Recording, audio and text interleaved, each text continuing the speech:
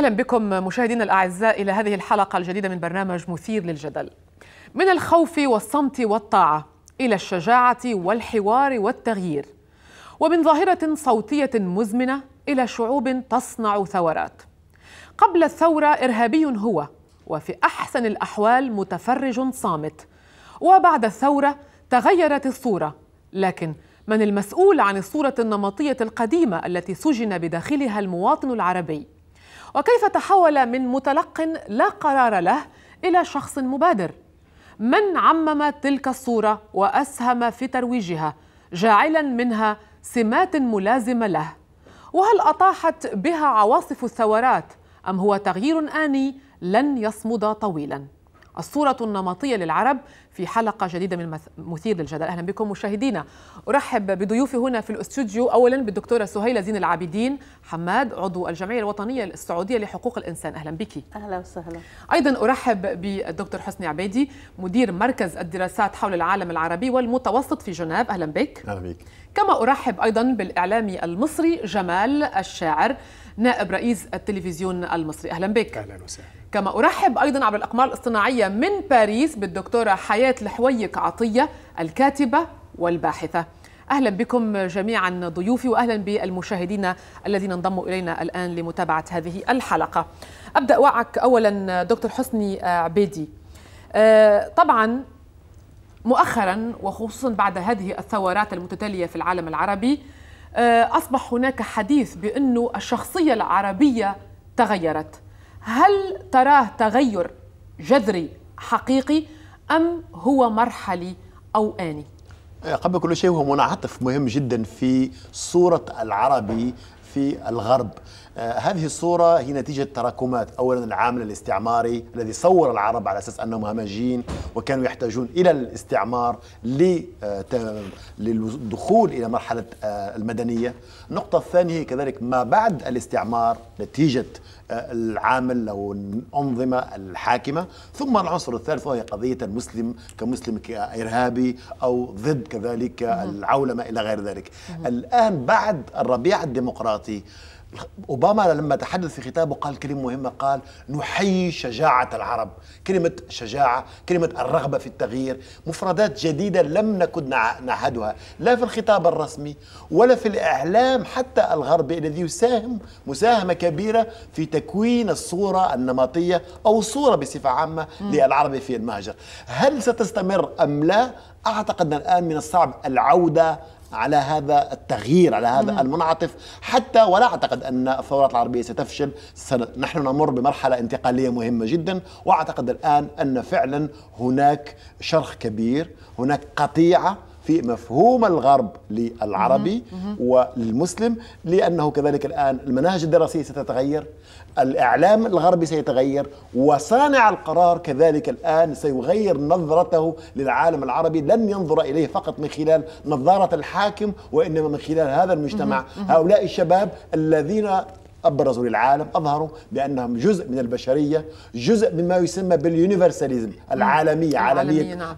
حقوق الإنسان الديمقراطه التغيير إلى ذلك. فأعتقد نحن لسنا في فقط تغير مرحلي وإنما في مفترق طرق مهم جدا في تاريخ العلاقات بين الغرب والشرق. دكتورة سهيلة هذا المنعطف الذي أشار إليه الدكتور حسني هل فعلا سيؤدي في النهاية إلى تغيير جذري لنظرة الغرب للعرب هل ترين أن العرب فعلا تغيروا؟ آه هو بطبيعة الحال يعني العرب آه للأسف الشديد نتيجة الظروف التي آه مرت بهم من بداية الاستعمار وما قبل الاستعمار والغزو المغولي والقضاء على الدولة العباسية وما خلفوا من حكم المماليك يعني وفترة التراجع الحضاري التي مرت بالأمة العربية والإسلامية جعلتها أمة يعني ما هي قادرة على المبادرة. المبادرة أو تقديم المبادرة لكن عندما خضعت للاستعمار استطاعت أن تتحرر من سيطرة الاستعمار م. وناضلت يعني عندك الشعب الجزائري قدم أكثر من مليون شهيد ليتحرر من الاستعمار الفرنسي الذي مكث أكثر من 130 عاما حوالي 130 نعم. كل الدول العربية في مصر في آه، كل البلاد العربية تحررت وخرجت من الطوق الاستعماري رغم من إنها كانت آه، تحت سيطرة دولة عثمانية وكانت فرض عليها الجهل والأمية مم. إلى آخره لكن الشعوب العربية شعوب قوية وناهضة آه، لا لا تستكين فعلا فترة ولكنها لا تقبل الركون والخضوع لأنها آه، أمة تربت على العزة وعلى الكرامة. يعني هي أمة عزيزة آه، ومهما حاول الاستعمار. يعني إحنا هذه الثورات التي ظهرت الآن مؤخرا بالرغم من أنه الإعلام وحتى الإعلام العربي للأسف الإعلام الرسمي خاصة الإعلام في في مصر مم. الذي فرض على الشعب العربي والشعب المصري بصورة خاصة مم. الاستسلام لل...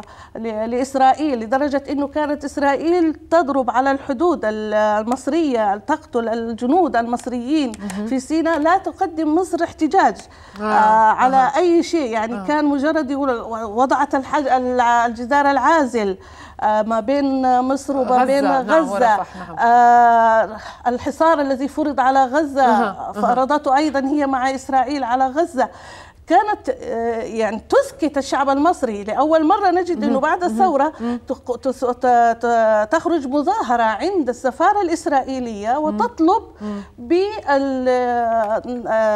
اتفاقية كام ديفيد وطرد السفير الإسرائيلي. هذا طيب. ما كان لم يحدث من قبل. فالثورة الشعب العربي حتى آه، فاجأ المخابرات كلها المخابرات الأمريكية والمخابرات الدولية صحيح. هي إنه بعد هي هذه الاستكانة وبعد هذه كان الشعب يعني كنا نسمع إحنا في الإعلام الرسمي المصري إنه مصر اولا والأمن القومي وما اعرف إيش والأمور هذه كلها يعني كان في كله استسلام طيب. تماما طيب. للسياسة طيب. المرسومة وفجأة أه. صار المارد واضحة الفكرة أستاذ جمال الشاعر هذا آه، البرواز أو الإطار أه. الذي وضع فيه العرب هل انكسر إلى غير رجعة بعد آه، الربيع العربي أو ما يسمى بالربيع العربي برأيك؟